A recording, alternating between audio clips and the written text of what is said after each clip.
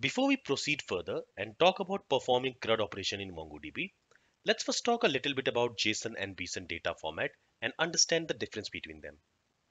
In the introduction of MongoDB lecture, we learned that with MongoDB, we work with JSON-like data, which is called as BSON. BSON is basically JSON data with few more data types. So if we want to insert a new document to a collection, that document is actually a BSON object. In the same way, when we fetch document from a collection, we get a BSON data in the result. In simple words, MongoDB stores data in the BSON format. BSON stands for binary JSON. So in this lecture, let's understand what is BSON data format and how it is different from JSON. Here we have an example of JSON data. Here I have a JSON file which is called as customer.json and in this JSON file I have two JSON objects.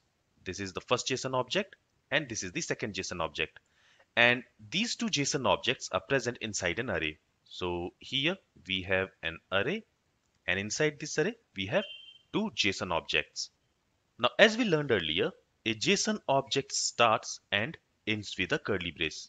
And in there we have fields. So here this is one field. This gender is another field. This age is another field. So a JSON object or a document in MongoDB consists of fields. And each field has a key and a value. Here this name is key and this John is its value. In the same way, this gender is key and this string value male is its value. Then this age is key and for this age key, this number 28 is its value. Now keep in mind that in JSON object, the key must be wrapped within double quotes. These double quotation marks are important and it has to be used to define a key in JSON object. Then for each key, we are specifying a value and the value which we specify to a key can be of any data type. It can be of any valid JavaScript data type. So to a key, we can assign a string value like we are doing for this name key and gender key. Here to these two keys, we are assigning a string value. Then we can also assign a numeric value. So to this age key, we are assigning a numeric value. Then to this is married, we are assigning a boolean value. Now to a field, we can also assign null or undefined. So that is also possible because null and undefined are also JavaScript data types. Then we can also have nested JSON object and we can also store array in a field. And keep in mind that when you are assigning a string to a key, that string must be quoted with double quotes or single quotes. But if the value is a number or a boolean, then quotation marks are not required. So I hope the structure of the JSON object is clear to you. So we have learned that in MongoDB, a document is nothing but a JSON object. So when we want to insert a document in a collection of MongoDB database, we specify a JSON object. For example, let's switch to MongoDB shell. And let's say in the customer collection of this sample DB, I want to insert a document. So first of all, let's check what are all the available collections in this sample DB database. For that, we can type this show collections command. So in this sample DB database, we have this customer collection and we have this products collection. Now to this customer collection, let's say I want to add a customer. I want to add a document. For that, I can say db dot insert one. And to this insert one, we need to specify a document a document is nothing but a JSON object. And we learned that a JSON object starts and ends with a curly braces. And inside that, we specify fields. So a field has a key. So let's say our key is name and it has a value. So we specify colon and after that we specify the value. So let's say value is mark. Then let's specify another field. For that we use comma and then we specify the name of the field. So here we can say age. Now here I'm not quoting this age key within quotes and MongoDB is going to accept this as long as there is no extra white space. So in a document, your key may or may not be quoted. So to this age key, let's assign a value, let's say maybe 28 and let's also create another field, maybe gender. So here also, I'm not quoting this gender key. But to this gender key, I'm going to assign a string value And when we assign a string value to a key, that string value must be quoted. Here, let's say gender is male. Let's go ahead and let's close this insert one method and let's press enter. So this document has been inserted in this customer collection.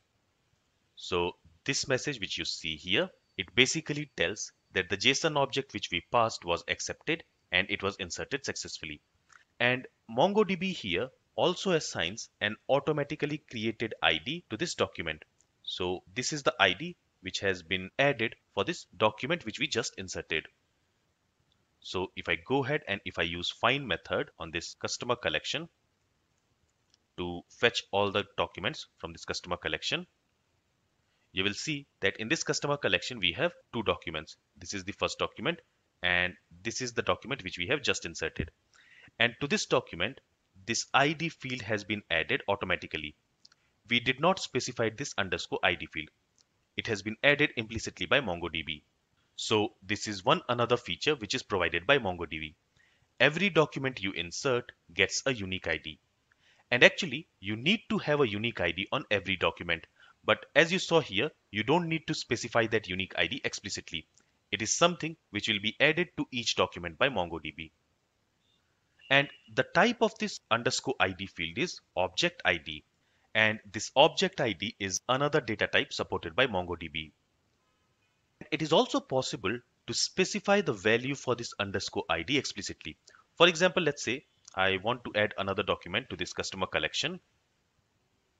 And in this document, I'm going to specify this underscore ID property explicitly. And to this, I want to assign a string value.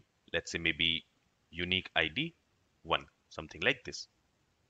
Okay, then let me also specify this name key. Let's say name is Steve. And let's also specify the age key. And let's say age is 30. So here we have specified a document. And in this document, we are explicitly specifying the ID field so in that case, MongoDB will not add this ID field implicitly. Instead, this ID field with this value will be used. So if I press enter, this document has been inserted in this customer collection. And if I go ahead and if I query that customer collection, you will see that in this customer collection, now we have three documents. So here we have this third document. And in this third document, we have this underscore ID field and it has this value which we specified while creating that document. So you can also specify this underscore ID field and a value for it explicitly. Alright, now we learned that MongoDB does not store data in JSON format. Instead, it stores data in the BSON format, which stands for binary JSON. Now, you don't need to care too much about BSON because all you will write and see is going to be JSON code. But behind the scenes, MongoDB will convert this JSON data into BSON before storing it. And this conversion is done by drivers. And MongoDB does this because of several reasons. First of all, storing and fetching BSON data is efficient and faster than storing JSON data. And BSON also supports additional data types. For example, this object type which you see here, this is not supported by JSON, but it is supported by BSON. So if I try to use this object ID in JSON data, let's say to this document, I want to specify this underscore ID field. Key name should be within quotes. And to this, if I try to assign an object ID, you will notice that here we have this red squiggly because this object ID is not a valid type in JSON. But even though it is not a valid JSON, but MongoDB can understand it and take it as a valid data. And BSON also supports some other data types. For example, the data types for number.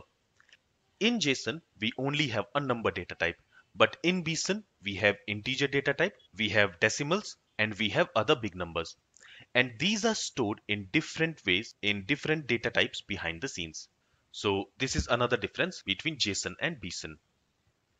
Now, you don't need to worry about BSON data too much because as I mentioned earlier, you are mostly going to work with JSON data. But you should know that your JSON data, the document which you insert in the MongoDB database, that will be stored as BSON data.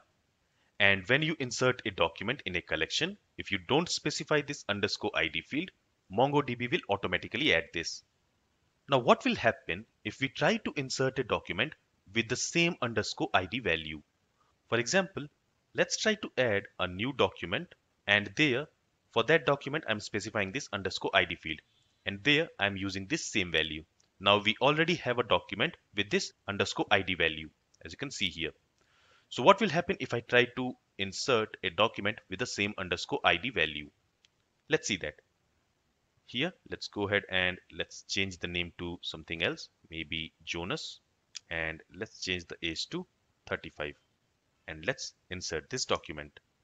And you will notice that it has not inserted that document. Instead, we have an error.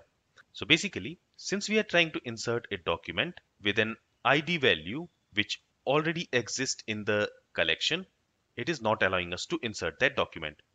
So this underscore ID value must be unique in that collection. All right, let's go ahead and let's clear the shell. So this is all from this lecture. If you have any questions, then feel free to ask it. Thank you for listening and have a great day.